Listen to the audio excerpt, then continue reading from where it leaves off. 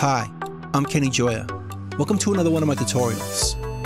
In this video, I'm going to show you why I chose Reaper as my DAW.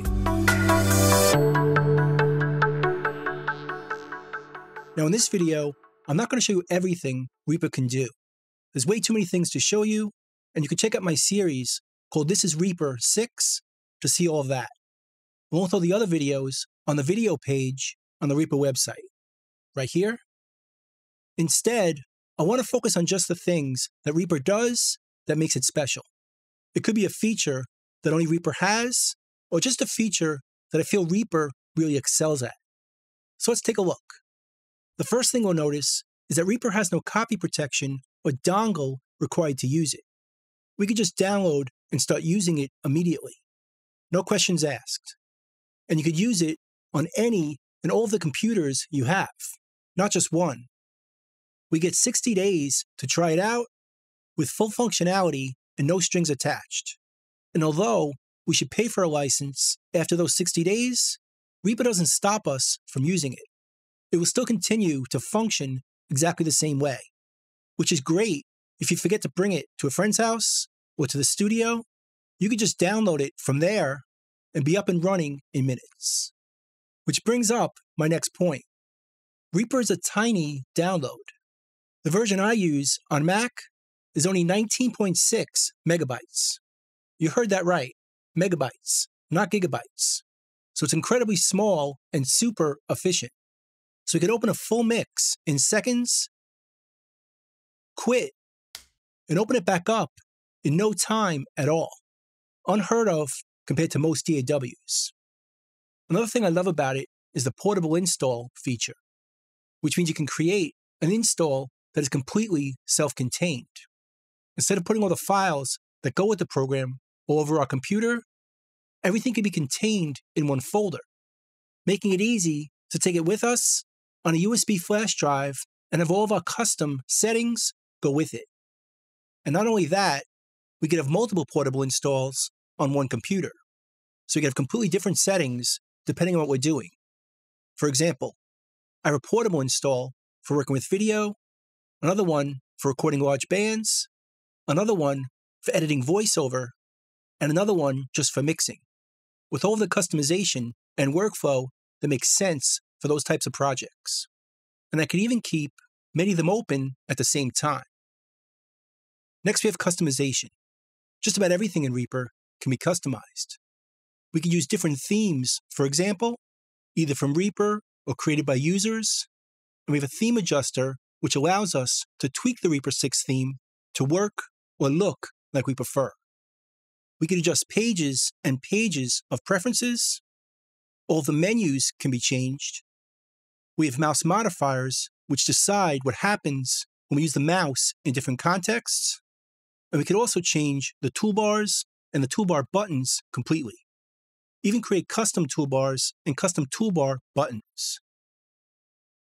Then we have actions, which control just about everything in Reaper.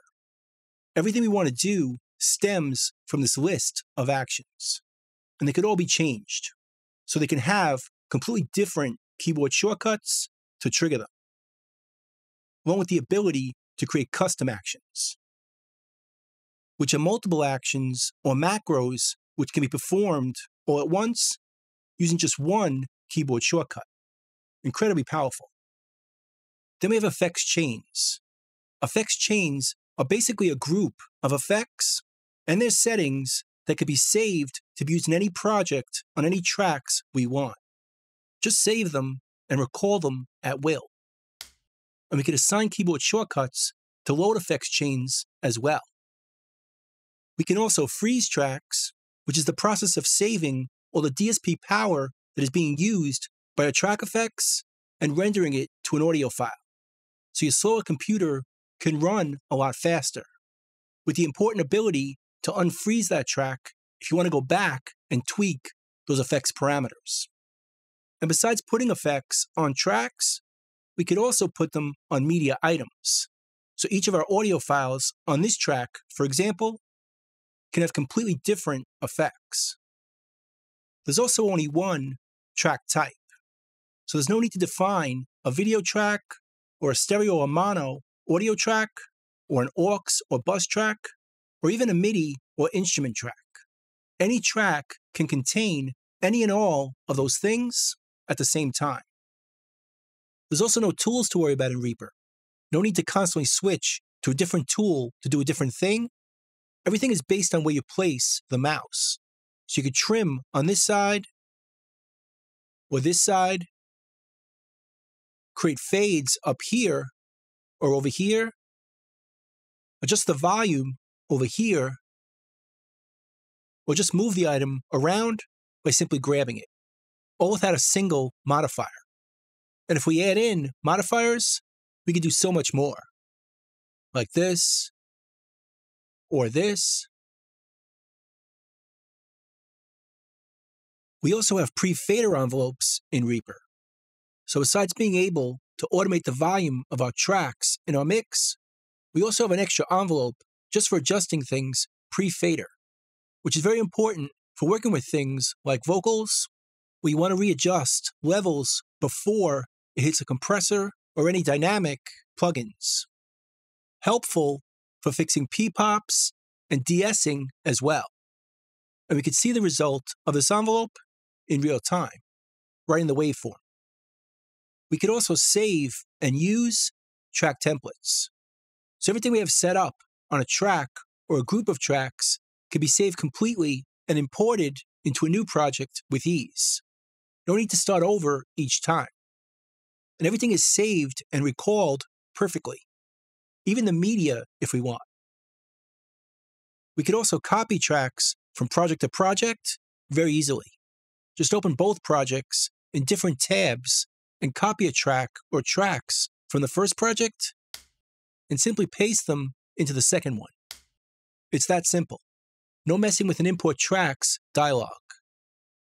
And we could create and use track folders, which is essentially like creating a bus, which automatically routes the signal from the child tracks to the parent tracks, but also allows us to hide and show the child tracks when needed keeping our projects a bit neater.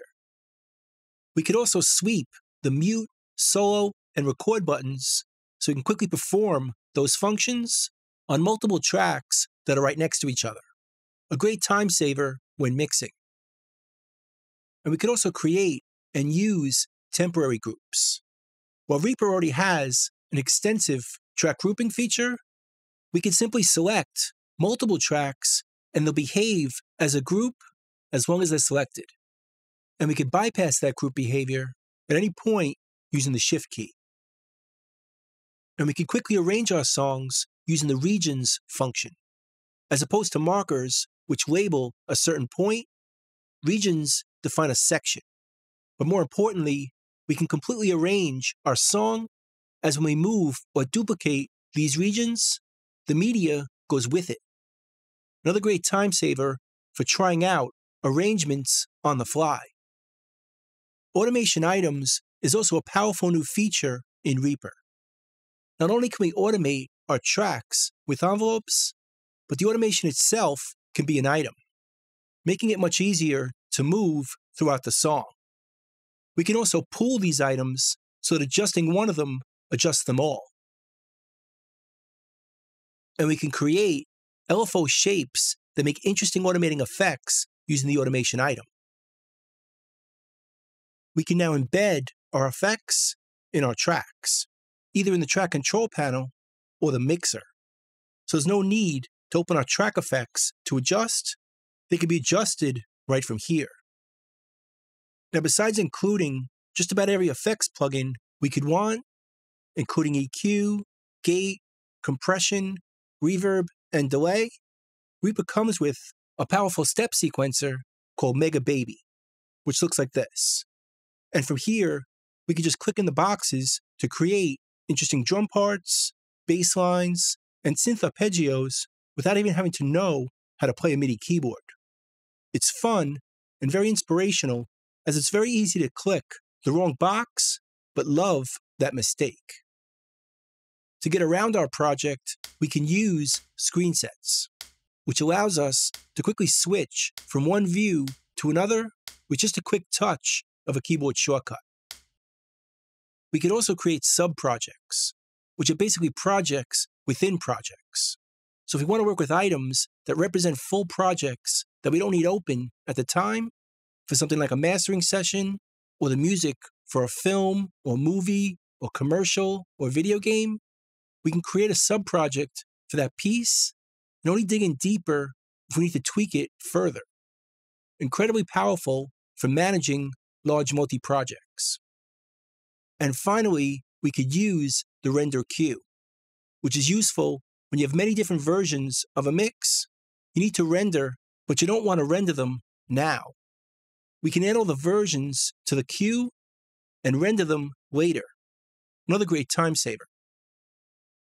So obviously, this isn't everything that Reaper can do, but it's the unique features where I think Reaper really shines when compared to similar programs or other DAWs. So that's why I chose Reaper as my DAW. Hope you learned something, hope you could use it, and I'll see you next time. Thanks.